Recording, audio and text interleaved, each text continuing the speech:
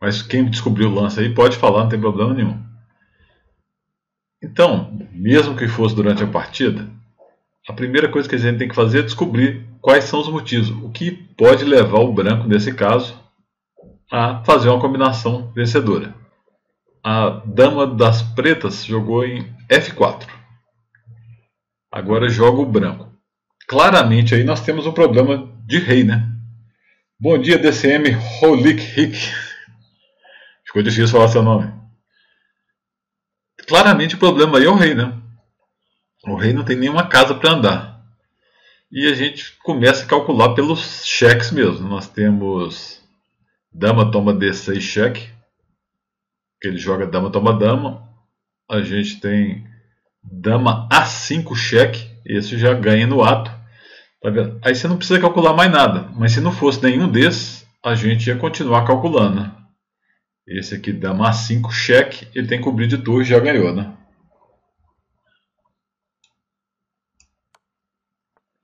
Não tem outro. E mate. Ajuda muito a ver os motivos, porque você vê que o problema aqui de, de cara é do rei, né? Então facilita você achar os lances. De novo, né, o rei não tem nenhuma casa para andar. Né? Você teria que olhar a posição toda, a torre.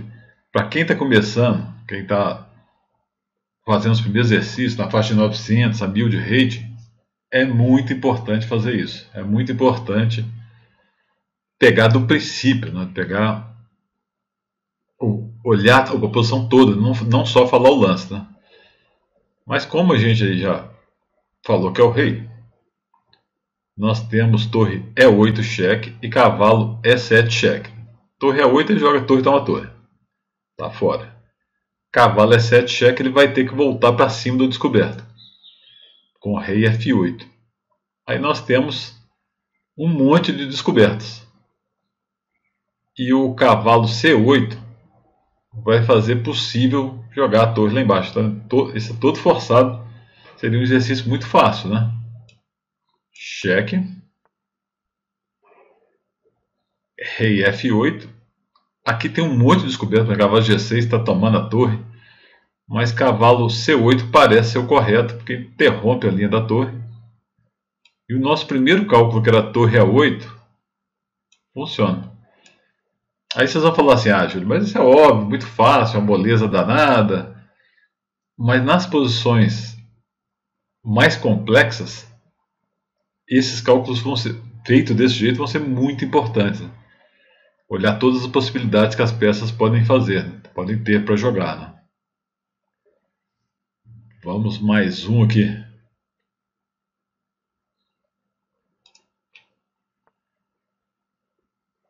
Uma posição mais cheia de peça e muitas pessoas falam, não, muito mais difícil e tal. Na verdade é a mesma coisa. É mais difícil porque tem uma calhambada de peça aí, né? Então fica mais difícil saber o que, que você vai jogar, né? Fica mais difícil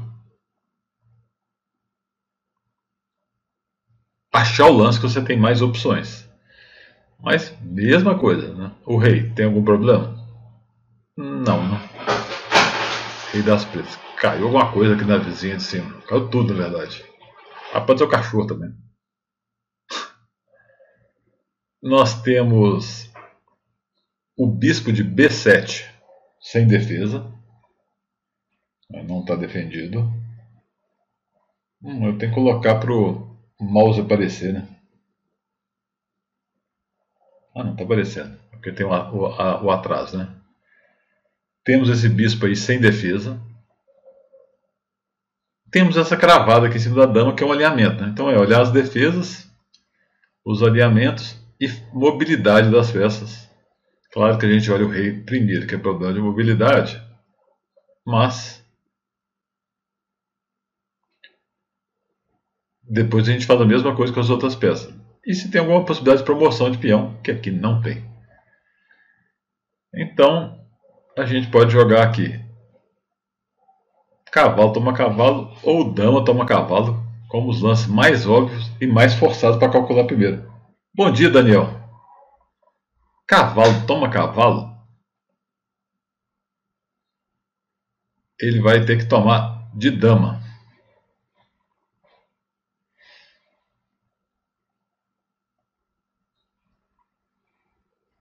É, dama toma cavalo também, né? Mas vamos lá.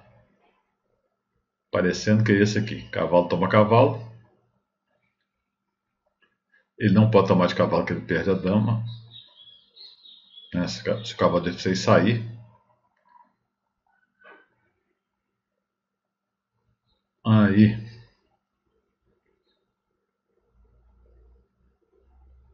Dama toma cavalo. Agora a gente tem dama toma dama e bispo toma cavalo. Tem que calcular ambos, né? Então vamos começar com dama toma dama, cavalo toma, não tem mais nada. Então, bispo toma cavalo, ele não pode retomar em F6 nem de torre nem de peão, porque está caindo a dama. Ele tem que jogar dama toma dama. E a gente joga cavalo toma dama. Estamos atacando o bispo de B6 que ficou indefeso. E se ele tomar o nosso bispo, a gente toma o bispo dele. E se ele tirar o bispo, a gente toma. Se ele tirar o bispo, a gente tira o nosso bispo também. É isso. Quando é uma combinação assim maior na partida, quando é um cálculo maior, é bom refazer, porque ocorre muito aquele negócio de você calcular de um jeito e depois jogar de outro, né? Então você dá uma última checada e vê se é isso mesmo, né? Cavalo toma cavalo, vai ter que tomar de dama, eu vou jogar bispo toma cavalo, estou ganhando a peça. Cavalo toma cavalo, dama toma cavalo, o material até agora está igual, né? Bispo toma cavalo, eu tomei um cavalo e ele não tomou nada meu. Só que agora ele fez um lance que eu não tinha calculado. Isso ocorre durante a partida também. Tem um monte de livro de cálculo, que o cara fala um monte de lance. Aí eu li aquele livro, Ao Ataque do Mikhail Tal. Fiquei fascinado com o livro. É, do Tal e Dansky. E o Tal fala várias vezes que eu corria isso com ele. Né? Ele calculou e o cara fez um lance inesperado. Das, aliás, as mais belas combinações dele acontecia exatamente isso. Agora aqui a gente tem um monte de possibilidades, né, gente? Mas parece o mais provável aí atacar o bispo em defesa de novo, tirando a dama, né? Tipo, dama B4, ataca o bispo e continua na mesma situação que estava, né? Que o meu cálculo tinha sido só dama toma dama, né? Mas eu acho que jogar dama toma B4, eu estou tomando o bispo e estou salvando meu bispo do outro lado, né? Deu certo no exercício. Um exercício de cálculo. Se alguém tiver alguma dúvida, a gente fica alguma dúvida, não sei o nível de todo mundo que está aí, mas pode falar que é muito importante isso, né? É, esse exercício aí, por exemplo, ele é puro cálculo e no princípio a gente confunde muito isso, né? Na, quando a gente está começando o xadrez, a gente torna muito essa confusão. E repetindo mais uma vez, esse tipo de cálculo aí ele é muito importante depois, né? Com as situações mais complexas, esse cálculo tem que ser mais organizado ainda, né? Então, por exemplo, na posição inicial, o bispo de B7 está sem defesa e tem a cravada do cavalo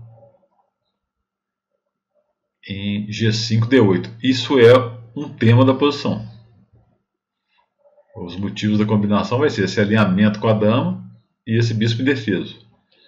Só que nas combinações mais difíceis, o que vai ganhar não está na posição inicial. Às vezes, não tem nada. Você olha, não tem nenhuma peça em defesa. O rei está seguro, está tudo certinho. E o adversário acha uma combinação. Como que ele faz isso? Né? Como que ele achou essa combinação? Ele fez trocas ou deu cheques e a posição rotacionou até chegar no, no, num outro tipo de tema, né? Nesse aqui mesmo, por exemplo, né? Depois de cavalo toma cavalo,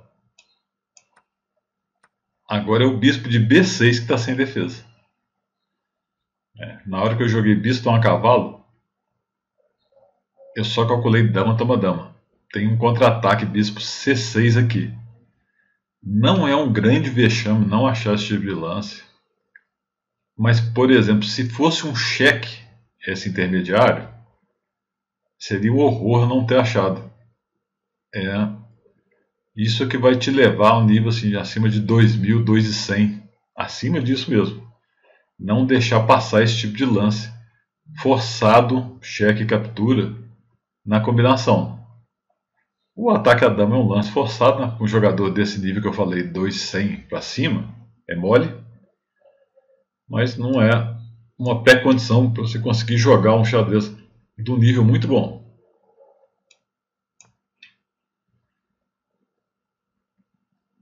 Então, já que está claro, vamos fazer mais um aqui.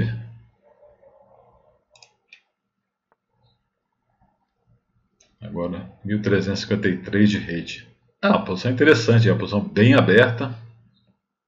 Com o rei das pretas, ele está vulnerável a ataques, o que é importante. Mas ele não está vulnerável a ponto de levar mate aqui direto. Vai precisar de alguma ajuda de peças aqui.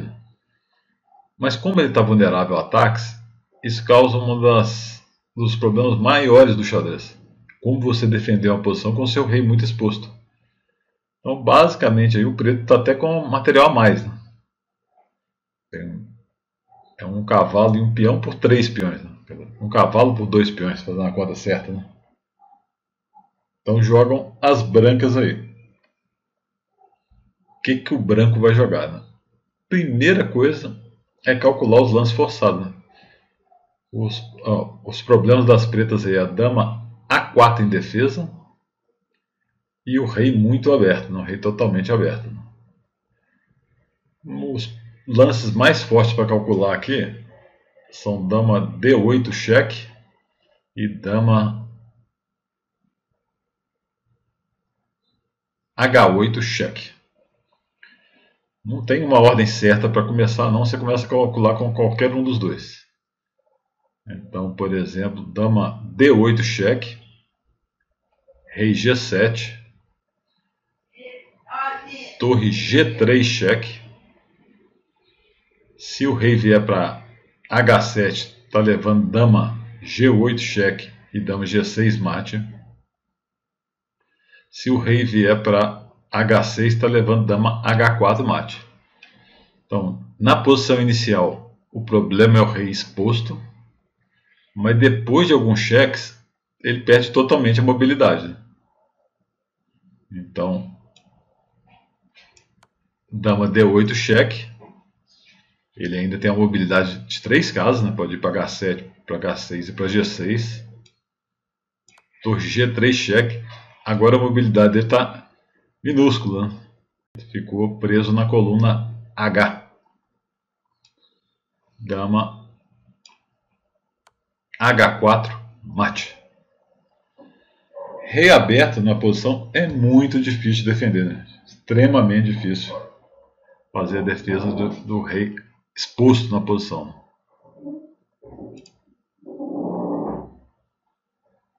Ele jogou aí rei H8. Aqui os problemas são rei sem ar. É a dama em defesa em F4. O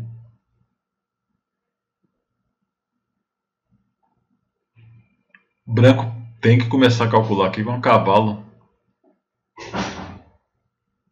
F7 check. É, vou fazer esse aqui e vou mostrar para vocês uma coisa importante também. Né? Cavalo F7 check. Cavalo H6 cheque. Dama G8 cheque. Cavalo F7 mate. Esse exercício aqui, ele é temático. Tem muitos livros com exercícios temáticos. Né? Tem o famoso livro do Bloch. Tem um livro moderno agora que é o Método Pica-Pau. Assim, né? São posições que você conhecendo, você vai dar o mate mais rápido. eu gosto muito dos livros mais clássicos. O livro que eu tenho recomendado bastante é o livro do Wilson Poff, né? Esse, aquela coleção dos nove volumes. Ele tem vários capítulos de, de tema de mate. E no meu canal do YouTube, quem colocar Júlio Lapertosa, tema de mate, ou aula de xadrez, algo desse tipo, vai achar várias posições mostradas também. Quando está fazendo o exercício e surgiu uma posição dessa, é bom lembrar. Mas é claro que facilita muito quem conhece, né? Alguém aí conhece o livro do Bloch? Bom dia, Isaac! Obrigado pela presença. Aquele livro do Maximin Bloch, é, Motivos de Combinação, alguém conhece? É, ele é um programa também no, no celular, ele é o programa CTArt. É bom, eu estou falando isso aqui, gente, que é os que eu uso e mais gosto. Mas tem muitos e tem programas de, de celular que tem isso, né? Então é muito bom fazer isso. Aqui no dias.com, em aprender exercícios, tem um exercício só de checkmate. Isso aqui é muito útil também, eu vou mostrar para vocês depois. São formas de você treinar várias posições do xadrez. É, fundamentos finais táticos, finais mais práticos, como aproveitar uma vantagem, desequilíbrio material, né? O, disparidade, né? você tem muito desenvolvimento, o adversário não tem nada. Partida de mestre são posições clássicas para você jogar. Então aqui, por exemplo, o checkmate. Né? São posições que você vai gravar os mates mais comuns que existem. Você vai saber direitinho como coordenar as peças. E o legal disso aqui é que é tudo muito prático, né? Mate com duas torres.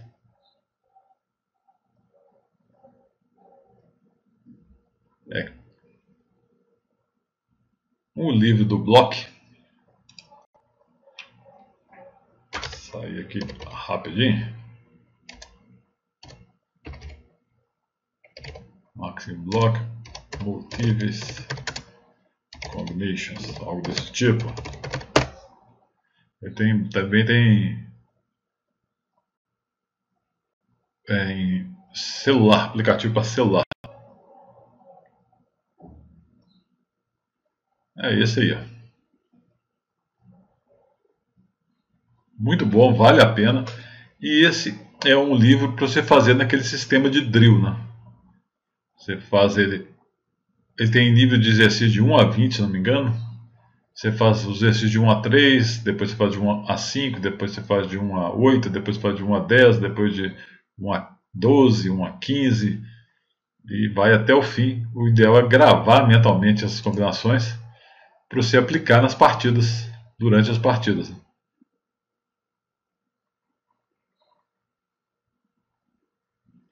Ficou Ficou claro isso aí? Então, para vocês verem como funciona, bem, vamos mais uma.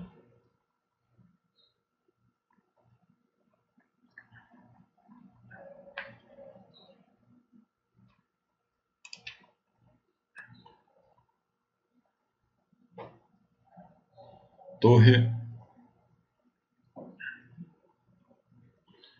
B7 joga umas pretas agora. Uma posição bem interessante.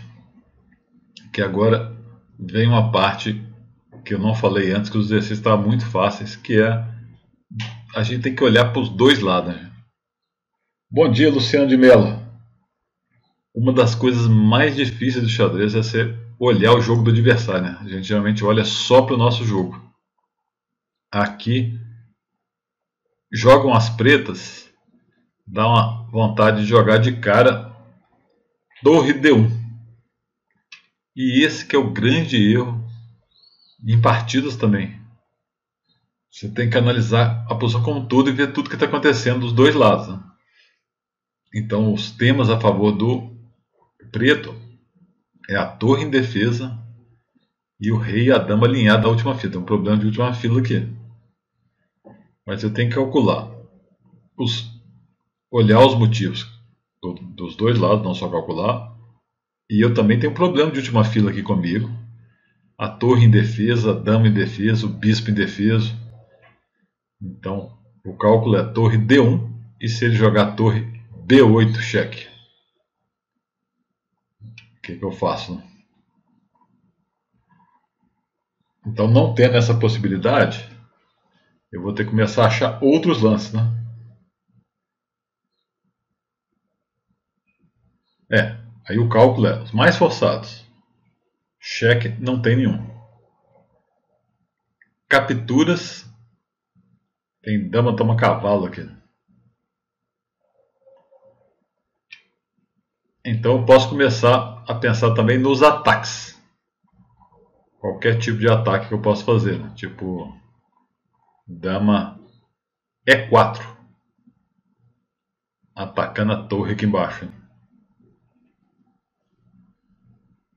Hum.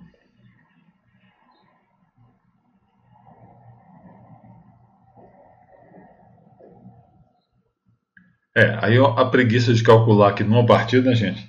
Seria jogar aqui H6, né? Não quero nem pensar nisso, né?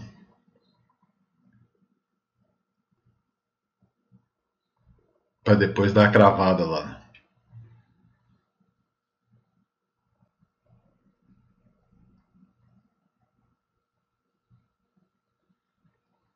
Esse aí tá um pouquinho mais difícil.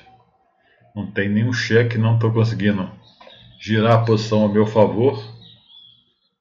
E não estou conseguindo claramente explorar a torre. E os lances mais forçados que eu estou vendo aqui são Dama E4, Bispo D5 e Bispo C4. Nenhum deles parece estar dando alguma coisa de bom para mim. Bispo C4, sugestão do Bulezinho, tirando a dama da defesa. Aí é, é um dos lances candidatos fortes, né? Bispo C4, dama C1. Agora o torre D1 cheque funciona. Então o, o cálculo seria esse aí, né? Com a ajuda do bulezinho veio a solução. Eu tenho que, já que não tem nada nessa posição, explorar diretamente. E que torre D1 eu estou levando mate, torre D8, só pode cobrir de bispo, toma, de torre, toma, de dama, toma. O, os lances que eu vou ter que pensar aqui é lances que vão mudar a posição. Então, a sugestão do belezinho aí é bispo C4 que agora a dama não pode ficar aqui, né? nem em E1, nem D1. E passando de C1 para cá, eu vou jogar torre D1, cheque agora, não dá tempo de dar um mate aqui embaixo. Ele voltou para a torre, obviamente entregou a dama. Né?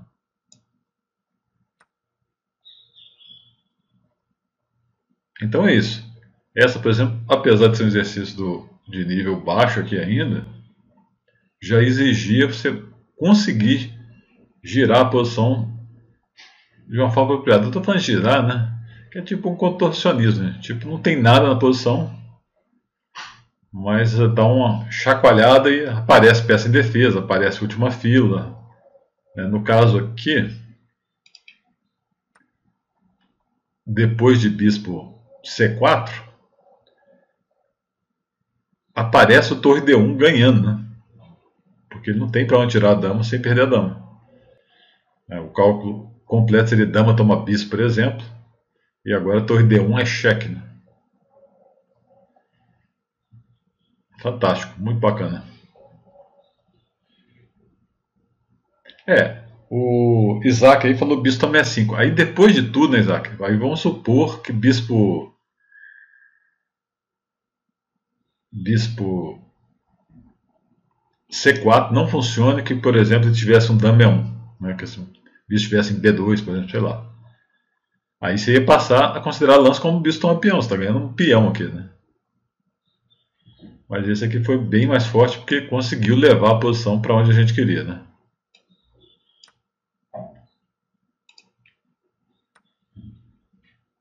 Torre ataca o cavalo, jogam as brancas. Outra posição interessante, né? O rei está preso na, na última fila, mas pode sair para H7. O bispo está defendido por essa torre. E a torre de A3 está em defesa, atacando o cavalo. Esses são os motivos, é o que tem que olhar. Eu posso jogar torre D8 cheque, que é o lance mais forçado. Bispo cobre. Torre é o 8 cheque e agora não tem mais nada. Se eu jogar cavalo G4 cheque, ele toma meu cavalo. E eu posso jogar torre toma bispo, que é o segundo lance mais forçado. Aí ele vai jogar torre toma torre. Eu posso jogar torre D8 cheque, rei H7 e agora tem cavalo G5 cheque, que não tinha na outra linha, né? Porque o bispo estava aqui, né? O bispo agora nessa linha foi eliminado. Rei H6. Está atacando meu cavalo. Mas eu posso jogar H4 defendo o cavalo. E estou dando mate. Como que ele vai defender? Aí que eu falei com vocês nos outros lances. É importante, por exemplo, calcular os cheques aqui, se não vai dar nada. Né? Então, nesse tipo de combinação, que a gente já está subindo o rate um pouco, é exatamente isso. Agora,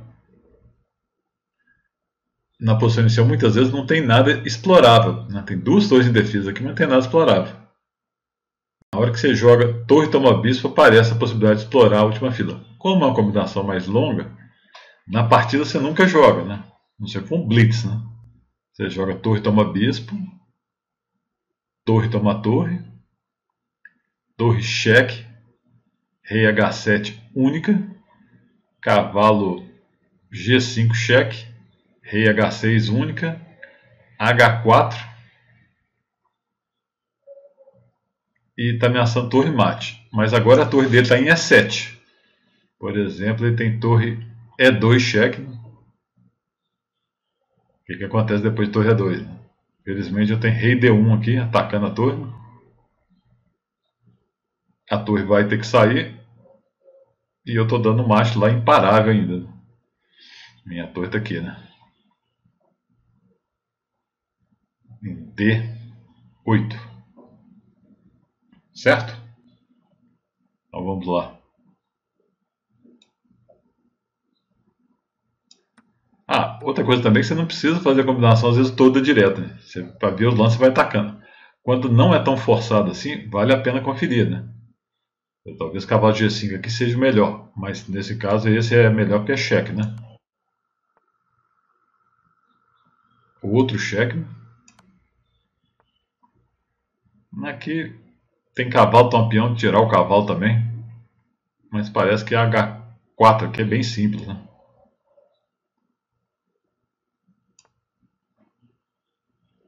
Não tem como ele defender o torre lá mate, né? Então, nesse nesses forçados, você vai até o fim. Né? Você vai calculando, não para de calcular não. Toda a linha forçada até o fim.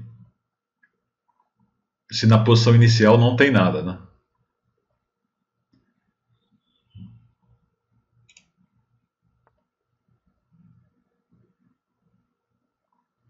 Rei D7. Esse já é um exercício final, né, gente? é, se mistura esses, esses táticos com finais, mas aqui obviamente eu não posso deixar o rei chegar no canto. Depois nós vamos passar umas aulas de finais aí também muito importantes, tem vários vídeos no meu canal, né? É um assunto que quase ninguém estuda e que vale a pena.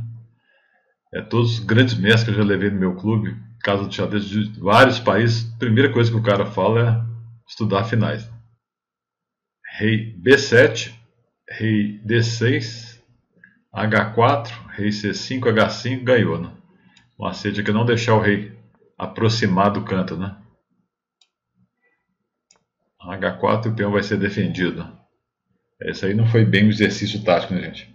Bom dia, Logan 2002. Esse foi um exercício de finais. Uma posição cheia aí, né? Cheia de peça para tu quanto é lado. Jogam as brancas. Nesse aqui, nós estamos numa abertura, claramente, e tem um alinhamento, né? o bispo com, com o rei aqui. Então, tá o bispo, o bispo D7 e o rei todos na mesma linha. A dama está na frente da, da posição das pretas, está vulnerável. E o cavalo de A1 está caindo. Então, mesmo com a posição cheia de coisa, que parece não é muito mais difícil, você tem que olhar o que é importante. A combinação fica muito mais complexa quando você tem que fazer um monte de trocas para chegar lá no final do, desse cálculo todo e ter alguma coisa. Mas às vezes a coisa está bem na superfície, né? Por exemplo, aqui nós temos um lance forçado para calcular, que é bispo toma bispo, cheque. Se o rei tomar, tem um duplo em E5 aqui. Né? Supondo que não funcionasse, a gente teria que calcular cavalo E5 invertendo isso. Né? Mas bispo toma bispo, porque está ganhando no ato. Né? Bispo toma bispo, rei D8 e eu tiro o bispo. Ficam o branco está com uma qualidade a menos ainda, mas esse cavalo aqui está com a cara que não vai sair vivo daqui, né? Por exemplo, né? bispo B5, cavalo C2, Bispo D3, ataca a dama, ataca o cavalo aqui, foi-se o bispo. Agora, cavalo E5, ele tem bispo, então a bispo, cheque. Por isso que é bom calcular dos dois lados. Né?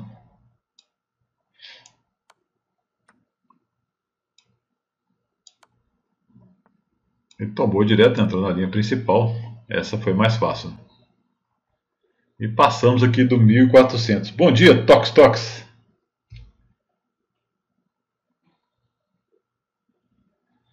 Daniel Carvalho, e se tomar, se já tomar o cavalo direto? Onde? Ah, tá. Aqui na posição inicial, o problema de tomar o cavalo é que você deixa passar essa oportunidade de ganhar material, né? É, o preto acabou de dar um duplo aqui, né? Cavalo C2 cheque, tirou o rei e tomou a torre. Então a gente está com a torre a menos. Tomando aqui a gente vai ficar com a qualidade a menos ainda, né? Aí o, o bispo toma bispo aqui, cheque, ganha material. Porque, por exemplo, se tivesse jogado rei D8, a gente voltava o bispo. Já ganhou um bispo. Ganhou uma qualidade, né? igual tomar o cavalo. Só que o cavalo está preso, né? Ele não pode vir para B3, que a dama toma. Não pode vir para C2, que ele joga bispo D3, ataca a dama de novo. E o cavalo. Como é que é ruim ficar com a peça exposta, né? Ao mesmo tempo que a dama está muito ativa em G6, ela está sendo alvo de um monte de ataque, né?